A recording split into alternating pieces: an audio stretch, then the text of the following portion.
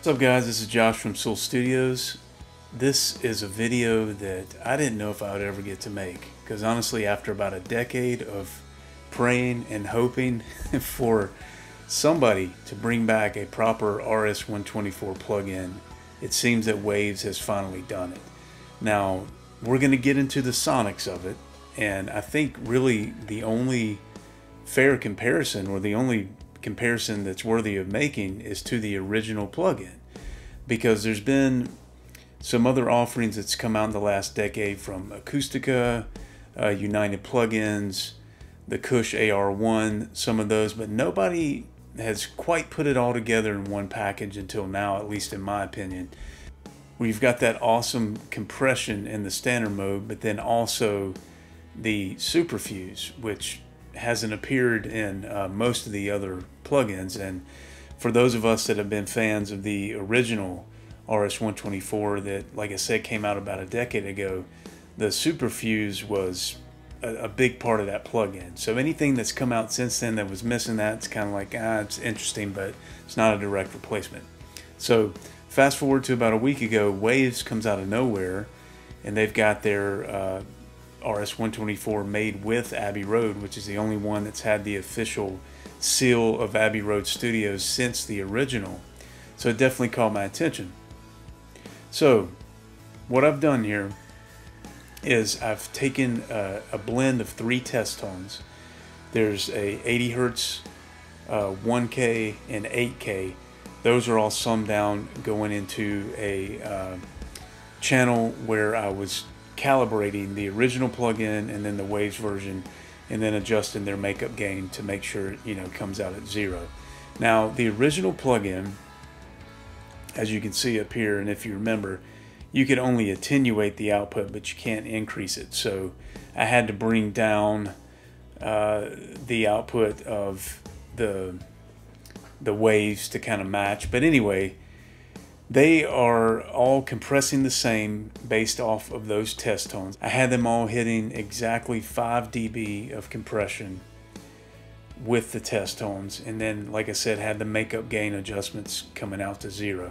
So I'm going to feed these channels that I've got set up on auxiliaries here. I've got the original plugin followed by the waves on the studio setting, which from reading the manual is going to be the closest to what was essentially the third model in the original plugin, the 670B. Uh, in the Waves manual, they say that's the one that they've modeled. And I did some comparisons, and to me, the studio version of the Waves sounds most like the original plugin, but I'm also doing the cutter. Based off of the Waves manual, the cutter, um, it, the attack is probably just a little bit slower. So, and it had nothing much to do other than that the tubes were a little bit different age. So let's get into it here. I'm going to run all of my favorite sources that I would usually put through the RS-124. That's a mono drum room mic, bass guitar, acoustic guitar, and a lead vocal, and, and maybe some piano. We'll see. All right, let's check it out. So as I go through, I'll go back in post-production here and highlight which one you're hearing. You're going to see metering on all of them as they play through, but I'm going to switch uh, with the control surface here pretty rapidly to uh, try to let you hear these in action one beside the other. So let's start with some mono drum room mic.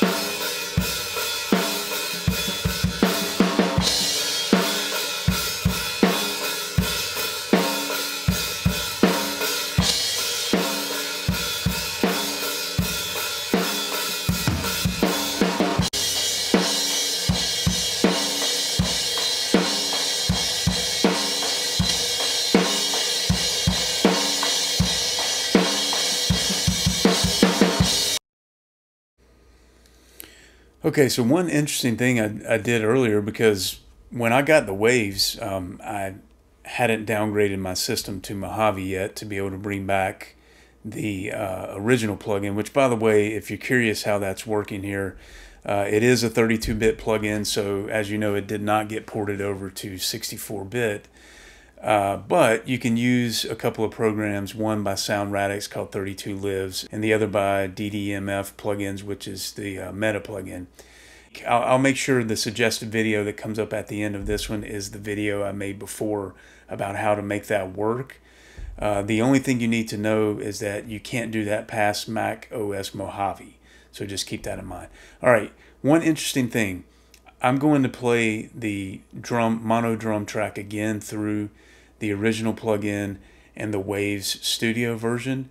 And I'm actually going to flip the, I'm going to have them both where you hear them both at the same time. And then I'm going to flip the phase and uh, let you hear how close they are. I was pretty shocked at the amount of cancellation because, you know, if they were exactly the same signal at the same volume and you flip the phase, you would have no sound.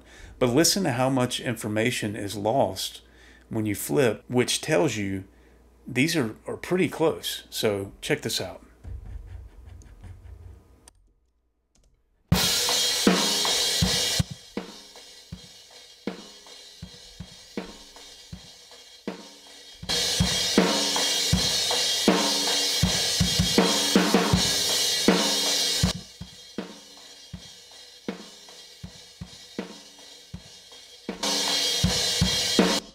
So anyway, they're a little different because you still hear some information there, but uh, that's pretty impressive because a lot of times you'll take a piece of hardware and the plug-in equivalent or you know two different emulations of, of a plug-in of the same piece of gear and you flip the phase and there's so much going on there that there's not big that much of a volume drop. Um, but that's that's pretty impressive. So anyway let's keep moving on. Bass is one of my absolute favorite sources for the RS124, it just it just gives it a big old hug, for lack of a, a better term. You know, sometimes our language and music doesn't make much sense outside of this world. But anyway, let's check this out bass guitar through all three plugins once again.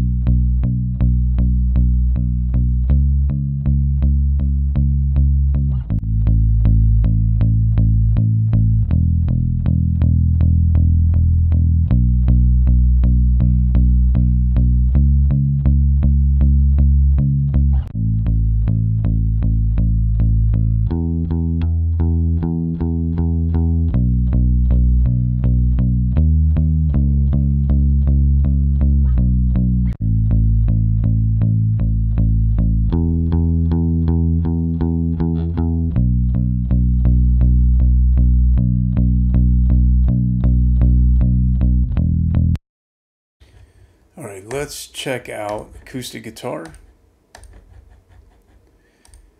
And as you've noticed, about halfway through, I'm putting them all in superfuse mode, um, which I'll put some text up there to help follow along when that's happening. But uh, going back to normal mode and let's check out acoustic.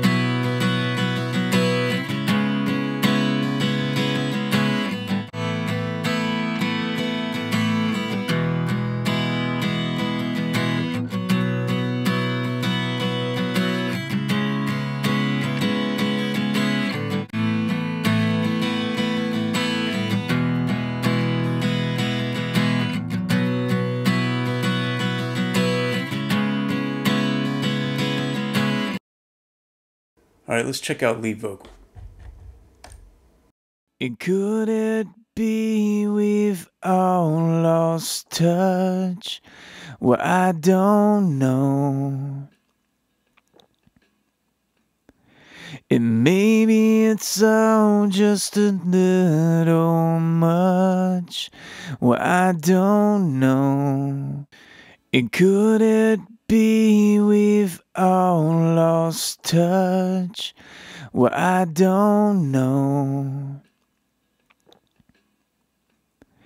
And maybe it's all just a little much. Well, I don't know. And could it be we've all lost touch? Well, I don't know. And maybe it's all just a little much. Well, I don't know. And could it be we've all lost touch? Well, I don't know. And could it be we've all lost touch? Well, I don't know. And could it be we've all lost touch? Well, I don't know. Okay, guys, I wanted to take some time and make sure I did this segment right because it's dealing with the hold feature. And that is something that was super important to those of us that love the original RS124 and that's probably the biggest area of controversy in the new Waves plugin as far as it it's nice that they added the hold, but it definitely behaves differently. So I want to show you the difference between the two and then give you an example of how I'm using the Waves version to behave more like the original. So I'm going to take the bass. Uh, we're going to start with the original and uh, for those of you that haven't used it before, I just want to give you a sense of what it looks and sounds like. So here we go.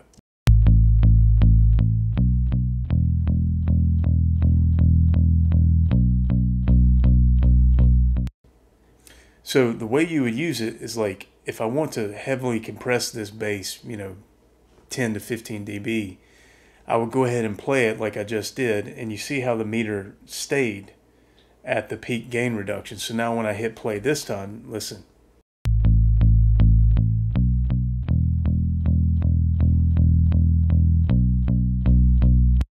So the reason for this feature back in the day was that the attack of the RS-124 can be a bit on the slower side, especially compared to like an 1176 or Distressor or something. So you would sort of prime it and, and teach it the uh, attack of, of the, the peak of that attack that was coming and then it would hold there. So now when you hit play on your final mixdown you wouldn't have that spike at the beginning. So uh, on the original plugin what you could do is you could use this prime button here to kind of reduce it to you know if you didn't necessarily want it to be that heavy handed you could start it somewhere around here. Or if it was at the end and there was a, uh, ring out at the end of a song, you could hold that down so that you wouldn't have the noise of, you know, it holding on to 15 decibels of, of compression. Now, the newer uh, Waves plugin has what they call auto hold. So it's a little bit different that when I click here, uh, I'm actually going to back down the bass a bit and give you an example of how it is going to work in a way that's probably not going to be pleasing to your ears at first, and then I'm going to show you how I'm getting around that. So check this out.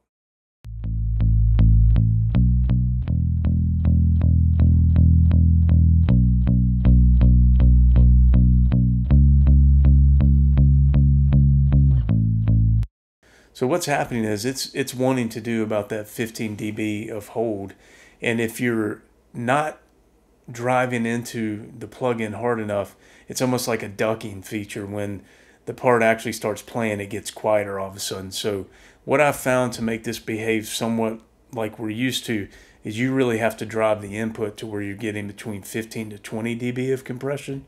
So uh, check this out as I push harder into it. So again, did you hear that? As soon as it started playing, it ducked down. So let's turn it way up.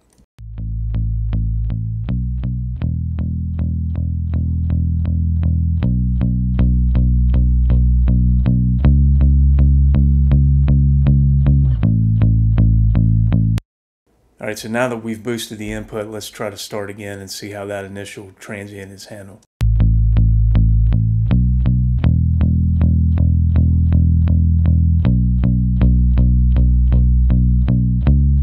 So if you've been frustrated with that part of the waves, uh, I would just ask you to maybe try pushing it further than you have yet because again, if you're used to the traditional hold and you hit play and you weren't compressing so heavily, it almost sounded like it was ducking, and, and you know you wonder if this thing's not working right.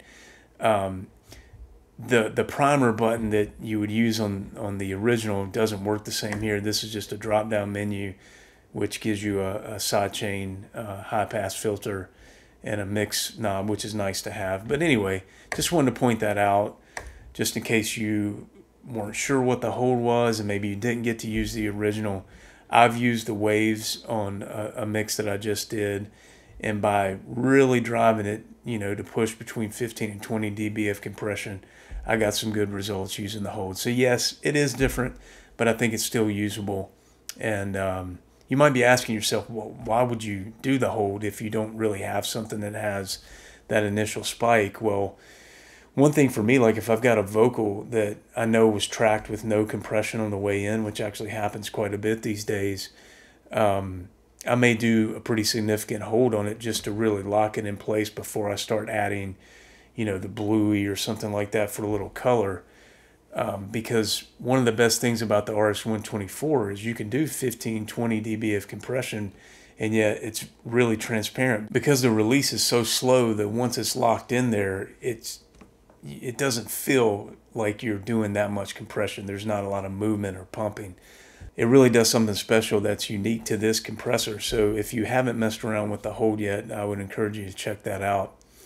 Uh, so final thoughts are, since I'm on Mojave, I think I'm going to stay here for a while because I actually really do enjoy the other models that are available in the original plugin. They all sound different to me. I'll I use them for different purposes. Um, but if you're past Mojave, you don't want to go through the mine uh, field that it is of downgrading your Mac OS. I totally understand. And if that's the case, I really recommend the Waves. I think the sound is there, um, especially you know with with the one uh, six zero zero seven zero B model, uh, which honestly was the one that I used the most on the original anyway. Um, so I think we finally have an RS-124 replacement that's that's worthy of that name, and uh, we won't have to complain so much uh, on the forums like we have done over the last 10 years. But having said that, if anybody that's um, involved with Abbey Road or Softube or Cool Labs, any of the people that were part of the original, if there's a chance that this, I mean, line for line code of this original plugin can be ported over to 64-bit, I don't think you'd even have to change anything. I think we most of us would prefer actually that you didn't keep the sound exactly the same. Uh, we would still love to have the original. But anyway, uh, props to Waves. Amazing job. Th this was a nice surprise, and um, hope you enjoyed the video. If that's the case, please give it a like subscribe to the channel, ring the bell. You'll know when the new videos come out. And I've got a lot of stuff planned over the next coming months. So appreciate it, guys. Until next time, see you.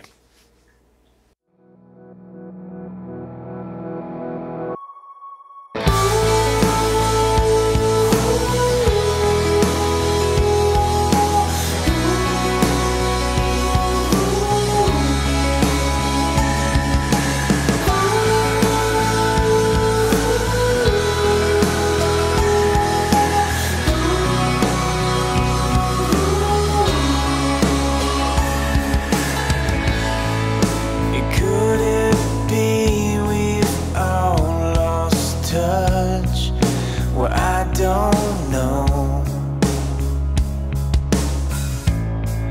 And maybe it's all just a little much where I don't know. Can we turn these dreams into something?